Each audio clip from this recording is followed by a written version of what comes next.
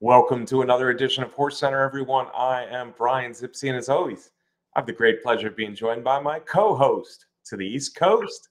That's Matt Shifman. How are you today, Matt? I am good, Brian Zipse. It's good to be here with you at Horse Center. I am still in uh, Saratoga for another weekend or so. There you go, Matt. I love when you're on the scene there at the spa, and we're going to talk lots of spa. We're also going to talk a little bit about Del Mar. This is a uh, three-year-old filly division of Horse Center, if you will, Matt. But first, we want to take a look at the Travers because the Travers is right around the corner. We're only nine days out as we're filming this, Matt. The Travers Stakes is shaping up to be a pretty good one, a pretty important one as we get into the uh, the race for an Eclipse Award. Let's look at the uh, probables as of now. It looks like Angel of Empire has been taken off this list, Matt. We added a long shot ear, Il Miracolo.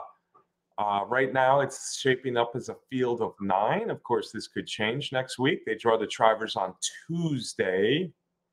Matt, we have the three horses that won races in the Triple Crown Series this year. None of them will be favored.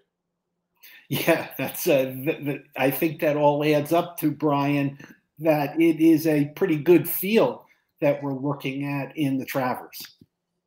Yeah, absolutely. Forte, uh, Forte's only lost one race, Matt, uh, going back uh, to this time last year. Uh, he became a Grade One winner at Saratoga in the Hopeful Stakes, and he's won six of seven since then. Of course, he's the two-year-old champion had to miss the Derby and the Preakness with that slight hoof bruise. Came back with a good race and his only loss when he was second in the Belmont, but finishing well in that 12 furlong Belmont. Came back with a hard fought victory in the Jim Dandy. He looks like a legitimate favorite on uh, a week from Saturday. Yeah, absolutely, Brian. And and as it's been uh, all through the year. It, has been a wide open year in the three year old division, three separate winners of the Triple Crown races. Forte, yeah. Uh, showing his stuff early on, and then and then uh, coming back later in the year. Um, I guess the tra- that means the Travers is a big big race in deciding the division championship. Yeah, it absolutely should be. Um, there, there are some horses, uh, one horse for sure in Southern California, maybe a couple of horses out in Southern California that might still have something to say about it that won't be at the Travers. Go Rocket Ride, practical, uh, practical move is coming back as well. Interesting horses out there, but the Travers is shaping up as a big one, and the winner of the Travers certainly could be the Eclipse Award winner at the end of the year. Arcangelo, Matt, uh, of Arrogate, uh, Jena and uh, Antonucci became the first female trainer of a Triple Crown uh, winner. Uh, nice story. Hasn't run since the Belmont, but this son of Arrogate was looking better and better, and of course had that nice Belmont win where he uh, shot through on the rail and was best Belmont Stakes Day. Yeah, and uh, of course, Javier, Javier Castellano had to make a decision about who he was going to ride in the Travers. Was it going to be Arcangelo or was it going to be the Kentucky Derby winner Mage? And Javier did opt to uh, ride Arcangelo. Yeah, that's a very interesting decision, an important decision. Uh, Castellano won two thirds of the Triple Crown this year with two different horses, and he's getting off the Derby winner. I think the Derby winner is a really good horse. So interesting horse uh, decision by Castellano, but you can't blame him at all. Arcangelo's won three in a row. Mage, on the other hand, Matt has not won since the Kentucky Derby, but Mage was a, uh, I thought, a good, uh, two good performances since the Derby. Uh, paceless Preakness he chased, finished third, and then Haskell uh, made a big move that was reminiscent of his race before the Kentucky Derby which was the Florida Derby, where he made a big move and got beat late by Forte. Uh, Go Rocket Ride turned him away in the stretch at Monmouth Park, but uh, I think Mage is working his way to another good performance here at 10 furlongs. Of course, the distance that he won the Derby. Yeah, and I think uh, the connections feel the way the same way, but you can't deny that the specter of uh, Kentucky Derby winner uh, not winning any other races uh, is hanging a little bit in the background hanging a little bit in the background, but I like Mage as a better Derby winner than a lot we've seen in the last few years, Matt. Luis Saez, by the way, is picking up the mount on Mage, so uh, he's getting a very good rider who knows his way around the Travers Trip for sure. The other Triple Crown race winner in the field is one of two for Bob Baffert. That's National Treasure. Uh, Son of Quality Road, he's run a lot of good races against graded stakes horses, but the Preakness is his only win outside of a maiden win, and he did have the benefit of a pretty dawdling pace that day at Pimlico. Yeah, I think that's a good point, Brian, uh, uh, to, about National Treasure in here, and I think all you uh, Bob Baffert fans, you're probably going to get a pretty good price. Yeah, pretty good price as the fourth choice, the likely fourth choice of the, let's call him the big four here in the Travers. Uh, his other horse is Reincarnate, who's an interesting horse a horse who also has some speed, a horse who seems game. Didn't do a whole lot in the Kentucky Derby, but he bounced back nicely with a win last time. Yeah, I, I agree with that, Brian, for sure. Um, it's interesting that there'll be two Bob Bafferts in the Travers field, and neither one of them's going to be close to favoritism. Neither one, and both of them will probably be close to the early pace, though. So it'll be interesting to see how the early pace of the Travers unfolds. A horse that won't be on the early lead certainly is Trice. Matt, you have to draw a line through that Haskell. If you like Tapit Trice, you're going to get odds finally on Tapit Trice. Uh, a multiple graded stakes winner ran a very good Belmont, was lapped right on Forte in the Belmont. Just did not get it done. Nine furlongs, a little bit of traffic at Monmouth Park in the Haskell. Yeah, certainly he's a horse that uh, the mile and a quarter distance would seem to certainly be in his favor. Disarm is another horse who probably has a shot in here. Disarm uh, actually was my pick to upset the Jim Dandy. He was only fourth, but he was only beaten a few lengths. Have to move forward a little bit, but uh, he's uh, not out of the picture. Yeah, I agree, Brian, and I think Disarm has got his fair share of supporters. Another one, horse we should talk about, I think Il, Il Miracle is the is the true long shot of the field, but Scotland. Scotland's an up and comer for trainer Bill Mott. We've seen up and comers from Bill Mott before do big things, Matt. Yeah, and and Bill Mott just continues to be uh, the Hall of Famer that he's been for so many years, uh, uh, winning big races uh, at Saratoga, having another great summer. Uh, with that in mind, you you got to keep an eye on Scotland.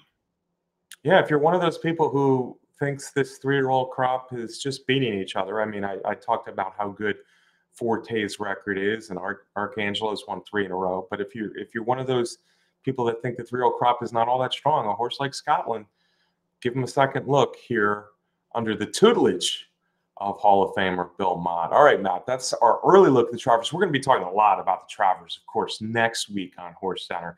But this show is three year old fillies, three year old fillies, Matt, one of the best, of course, in the country. Wet paint. This filly, this Godolphin uh, owned and bred Brad Cox trained filly has won four stakes races already this year, Matt. You don't see that a lot uh, these days. No, you certainly don't. Uh, um, and won uh, three of those stakes races uh, on the road to the Kentucky Oaks, where he went into that uh, race as as a horse that was frankly expected to win, ended up fourth, and and, and came back from uh, from from that race uh, in the Monomoy Girl Stakes, which was a prep race for wet paint at Ellis Park, and then at Saratoga, uh, wet paint, uh, that winning wet paint that became so familiar, got back uh, in the winner's circle when uh, she was impressive winning the coaching club American Oaks. Yeah, she was impressive. She didn't win by much, but uh, she had a lot of work to do in the stretch. And Defining Purpose ran a big race that day. And for Wet Paint to run her down and get up, it was a nice performance over the track, same distance. Uh, four stakes wins already this year. The first three, of course, as you mentioned, came at Oaklawn Park. I, I didn't think either of her losses were bad. She was close in the Kentucky Oaks in a big field, uh, beaten a couple lengths. And then the Monomoy girl, of course, who's your filly, dominated the early pace, and Wet Paint came rallying for second. Wet Paint is a deserving favorite here and the one to beat. But as you can see, uh, unlike a lot of stakes at Saratoga this summer, we have a nice uh, deep field here with lots of potential horses. Matt, let's talk about the one just a little bit. George Weaver brings us Sacred Wish, a horse who some talent early in his career, early in her career. Um, had some hiccups maybe along the way, but uh, she came up big in the Coaching Club American Oaks and looks to repeat that type of performance on Saturday. Yeah, absolutely, Brian. Uh, um, uh, we're talking about we're talking about defining purpose. Is that right? Sacred Wish. The, uh, excuse me, Brian. Got distracted for a minute. Sacred Wish. Uh, yeah, absolutely. For George Weaver, uh, George Weaver is sort of a Mister uh, Saratoga. Uh, he he saves his best for the spa and and is having another very good uh, meeting and, and, good reason to consider Sacred Wish as a serious contender. Uh, Johnny V gets up, uh, was second, as you mentioned, in that coaching club, American Oaks, uh, second in uh, an allowance race at uh, at Belmont Park. before that was didn't have a particularly good run in the Black Eyed Susan, but also has a second in the Gulfstream Park Oaks earlier in the year. So some good performance, uh, maybe due to get back to the winner's circle. Yeah, it, she's a threat if she runs back to that coaching club American Oaks. This is a deeper field and probably more speed. In fact, I, I think I'm pretty confident saying there is more speed in the Alabama than there was in the coaching club American Oaks. But uh, a threat off that performance for trainer George Weaver. The three, Matt, going down the list here, Julia Shining is a very interesting horse, a very well bred horse, of course, as we know, dreaming of Julia and Curlin mating produced this filly. And she's only had four lifetime starts. She's winless this year after uh, getting up to to win the Grade Two Demoiselle late last year. Uh, much talked about, well liked filly. Uh, I don't think her races this year are bad. Maybe she just needs a strong pace. Maybe she needs a little bit of maturity.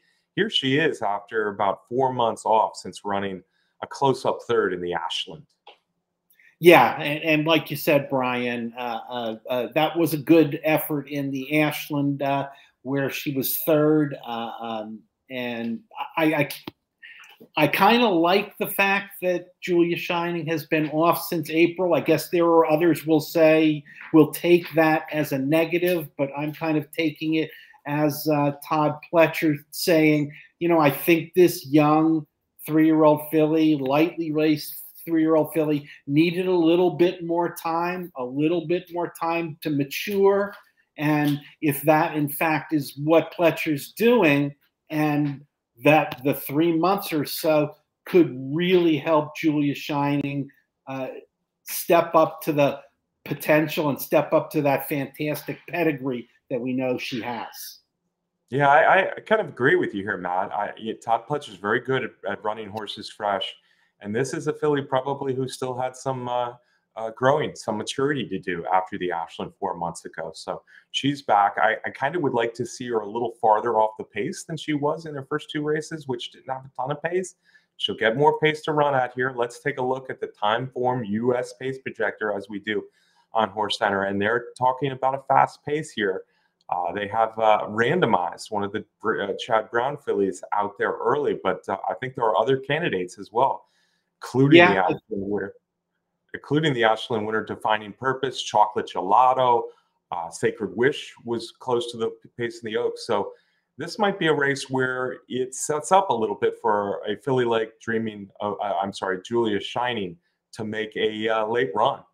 Yeah, and and certainly not just Julia Shining, but the other horses that prefer to come off the pace also, especially when you're going to be going that mile and a quarter distance. Uh, nine furlongs, nine furlongs nowadays with the Alabama, but uh, yeah, it's it's still a, uh, a, pace that should set up well for the uh, uh, uh, horses that like to come from off the pace.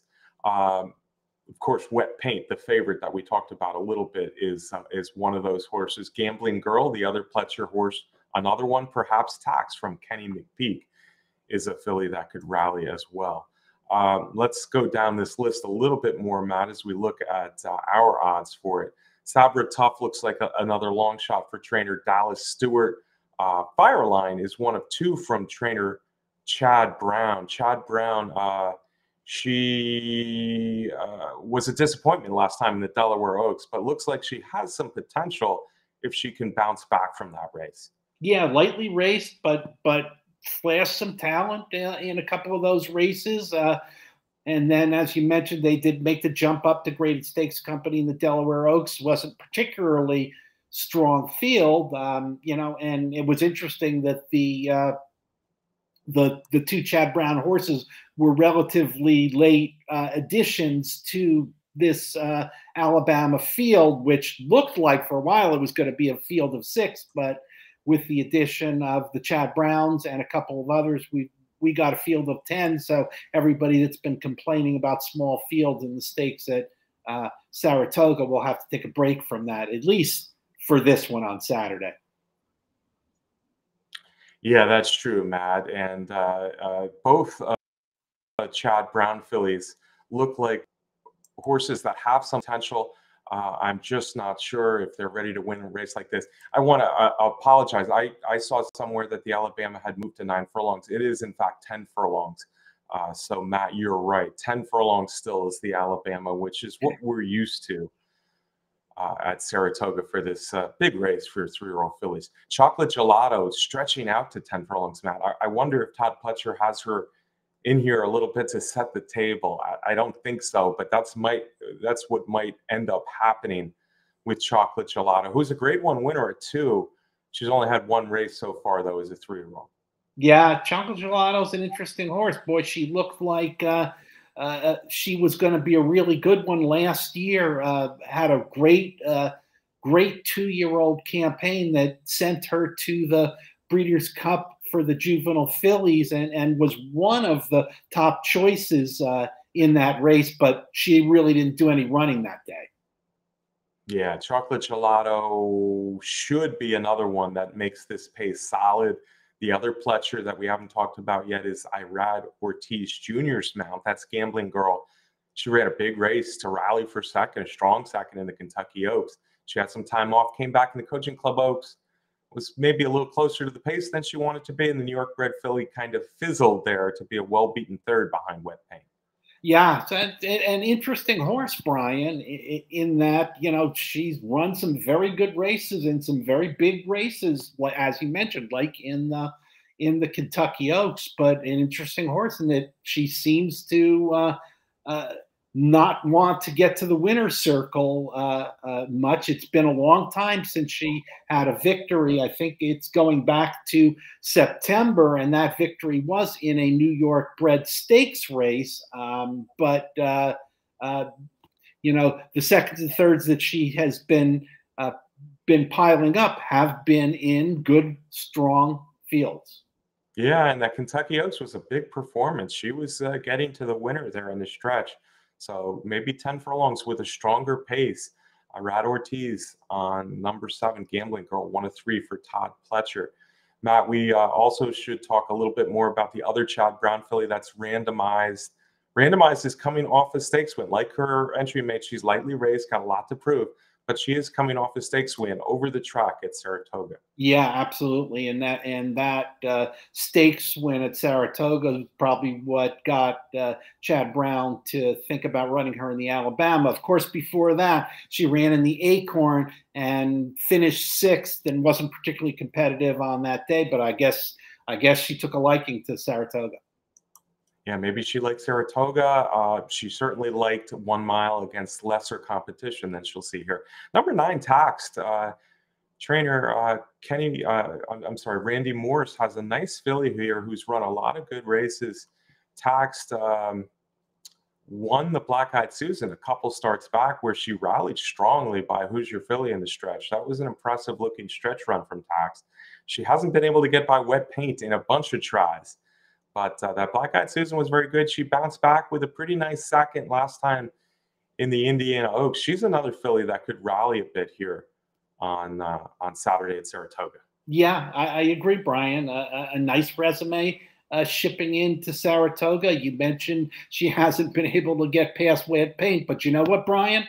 I don't think anybody in this field has been able to get by wet paint. Uh, a lot of them uh, have been beaten by wet paint in that, you know, in those four wins that we've talked about. Yeah, that's true. I, I guess Gambling Girl beat her in the Kentucky Oaks. She's one filly that did it, but yeah, you're right. Uh, you look at a lot of these fillies and a lot of these fillies with a chance, and they have been beaten by wet paint. Wet paint during uh, their careers. Another one that's been beaten by wet paint is the 10 defining purpose. Like Tax, though, she looks to be in good form. She's won two of her last three. I guess the Oaks she faded out of a little bit. But before that, she had the big win at Keeneland, the grade one Ashland. And then uh, last time, she was a solid winner, overtaxed in the Indiana Oaks. Yeah, again, two very nice wins. And she is one of three grade one winners in this field. Absolutely. It's a it's a nice field overall and a lot of fillies with a chance. We're going to change gears, Matt, as we go west next we're going to go to Del Mar, another grade one race for three year old fillies. This one, though, is on the grass. Let's take a look at the Del Mar Oaks field. Uh, some of the best young turf fillies in the country fill out another deep field, a field of 10 here in the Del Mar Oaks. So uh, this one is nine furlongs. That's what I was thinking, I guess. The Delmar Oaks nine furlongs on the grass at Delmar. Uh, we have certainly a favorite, I think. There is a mistake here in this morning line. Window shopping should be the second choice. Uh, so that was a mistake having her at six to one. She will be the second choice, we believe, behind Anisette. Anisette is the one to beat, Matt. Leonard Powell got this filly from England after some promising races on all weather surfaces. She's looked really good in two turf races in Southern California. Yeah, and and actually, uh, uh, she came over from Europe, and her last win in Europe was also a victory. So she's on a three-race winning streak, uh, uh and has looked good do, doing so. She's doing it with as a very very deep closer. Yeah, she likes to she likes to run her uh, do her best running late, Matt. But Del Mar is one turf course, especially where I like horses coming from off the pace, and Anisette fills that bill nicely here. Although another one who likes to come off the pace is the horse I said will be the second choice. That's window shopping. Uh, Richard Mandella, as we've become accustomed to, especially at Del Mar in the summertime, is uh, always one of the trainers to beat out there. And this race is no different. He's got two interesting fillies. Let's talk about window shopping, who made her debut on the turf, but has switched to dirt, and she's looked more and more promising as she's gone, uh, coming out of a win, a grade two win. Uh, like the favorite Anisette, hers came on the dirt in the summertime oaks. Yeah, and it, it's an interesting field, Brian, in that there are, you know, there are a handful of horses that are pretty much firm turf horses. They've most or all of their career starts on the turf. There are there's a few horses in there who are making their first career start on the turf, and then you've got some like uh, window shopping who are just now starting to show their best after a couple of races uh, on the grass. That was a nice win on the summertime in the summertime Oaks, and before that she was third in the Santa Anita Oaks. Yeah, she was third in the Santa Anita Oaks. She might have had a little trouble that day too. So a very promising up and coming filly for Mandella, and obviously he has some confidence in her switching to the turf as he started her career on turf, and, and she did make up some ground that day. Maybe not completely ready to run in her career debut. The other Mandella horse and another horse who's in with a shot certainly is Ruby Nell. Uh, Ruby Nell has a nice turf record, and now she's won two in a row on the grass uh, two different tracks, and she's got much more tactical speed than the first two we talked about. Yeah, and I guess that kind of gives uh, Mandella a nice one-two punch with a, off the pace and a more forwardly placed uh, horse. And you know, uh, uh, Richard Mandella doesn't put horses into big races unless he thinks that they have a reasonable chance to run well. Yeah, and I think both of these certainly do. Let's take a look at the Timeform US pace projector again, Matt. Uh, it doesn't have that fast pace button, but I think it'll be a pretty solid pace. I think there's some fillies here who will show speed. Led, of course, by number seven, Big Pond. Big Pond is a stakes winner in only two starts. She's unbeaten. She's a Calbred, and she's run against Calbreds, running shorter on dirt, but she's shown a lot of speed, a lot of talent She's got some turf breeding. Big Pond is another one we need to talk about a little bit here. Yeah, absolutely, Brian. A lot of speed, and as you mentioned, uh, uh, the breeding says she should be. Uh, she should like the turfs. Speed is always dangerous, but you know she's going to have to stretch out in distance and take to the turf uh, for the first time.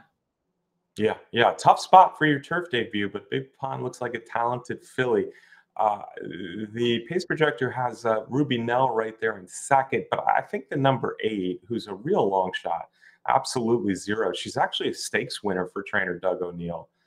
Uh, but she's been sprinting on the dirt. She's been fading out of races pretty badly of late. But I think I think I, I would be surprised. Let's say it this way: I'd be surprised if she's not out there pressing the pace as a long shot on Saturday. Yeah, and and this is will be her first start on the turf. Um, yeah, and and uh, uh, didn't show much speed the last couple times, but maybe it was because she she just didn't get out of the gate very well. But you know uh, uh that raises some concerns also. Yeah, yeah, I think I think she'll be a pace prompter at the very least on Saturday, but a, a long shot to be sure. Let's go back to the field of the Del Mar Oaks and talk about some more contenders in here, Matt. One horse I think could be a contender and might have better odds than that five to one is number six. Her name is Impact Warrior. Uh, coming over for Europe, Phil D'Amato, who is uh, just been on a tear uh, at Del Mar and uh, even Santa Anita going be farther back. Phil D'Amato winning tons of races out in Southern California lately. Impact Warrior made a nice uh, uh, debut in Southern California, although she was second in an allowance race for older fillies in her American debut. Yeah, and I think it's important to note that Brian uh, that it is her was her first American debut. Uh, she's always run on the turf. She ran four times uh, in Ireland. Trainer Phil D'Amato is known as a good turf trainer, and and maybe that allowance was an, a learn a learning experience for that horse. You know, the different different pace style, pace scenarios in American turf racing as opposed to over in Ireland. Absolutely, I, I think she's one to to look out for in the Del Mar Oaks. Let's see if her odds get a little bit higher. Kent Desormeaux up on Saturday. Uh, there are others in here, uh, Matt, all of who have some credentials. Infinite Diamond, Mike Smith up. She's got some tactical speed and she probably has some class. Be Your Best and Paris Secret are both previous uh, stakes winners on the grass. Uh, maybe not showing their absolute best late uh, lately, but if Paris Secret bounces back with Joe Bravo or Be Your Best likes the surroundings coming from the East Coast, they're dangerous as well. Yeah, that's a, that certainly is an interesting sh- ship from east to west by uh, by Horacio De Paz. Uh, uh, um, so he, he must have a feeling that uh, that horse is probably going to run better than her last couple races point out. Yeah, she's she's got some class. She's kept good company. By the way, those odds on the morning line there should be ten to one, not thirty to one on Be Your Best. Uh, so a bunch of interesting horses in here, Matt. Uh, it's good to see nice, deep, solid fields, ten horse fields, and uh, there are, are, are several potential winners in each race. It's time to make our top picks for these races. I'm going to let you go first. We're going to start on the East Coast where you are with the historic Alabama mile and a quarter Alabama Stakes at Saratoga on Saturday.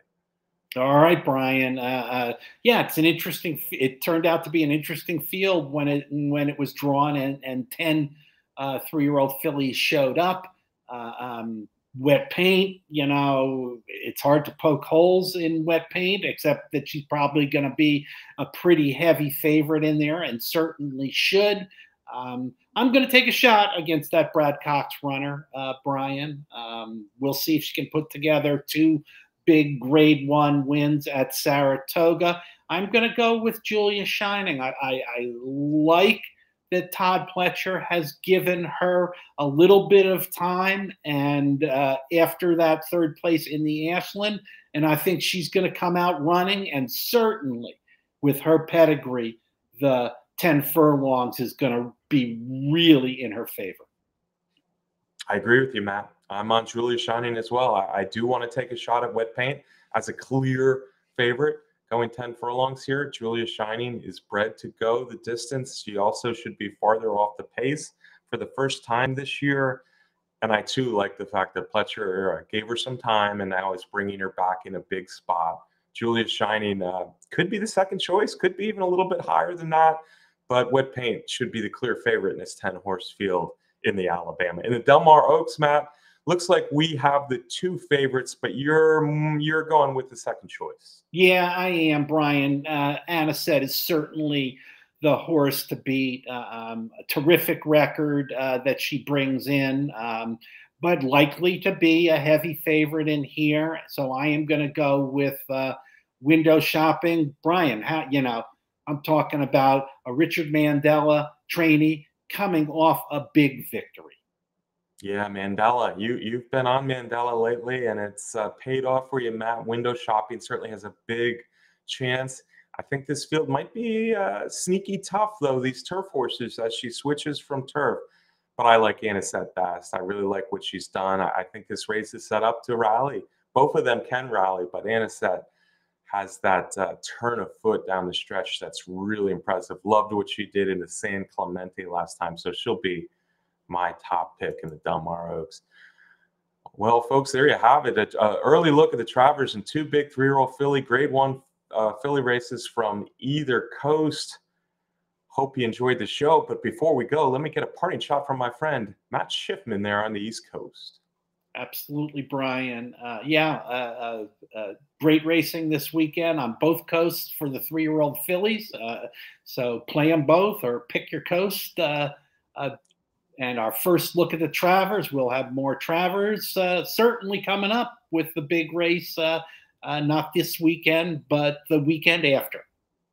Yeah, yeah. Next weekend we're talking Travers. Weekend after that, Pacific Classic. So a lot to talk about. I want to thank all of you for watching. We certainly appreciate it. Thanks to our uh, friend uh, in the home office, Candace Curtis, for the race graphics. Derby Wars, the best contest site out there, our sponsor, and of course, Timeform US for their pace projectors.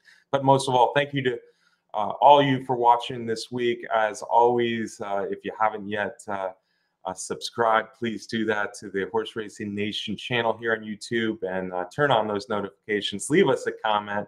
And most of all, good luck at the races on uh, another good summer weekend of racing. Good fields, too, good size fields. So that's a good thing, Matt. We'll be back next week right here on Horse Center. Travers Week next week. We'll see you then.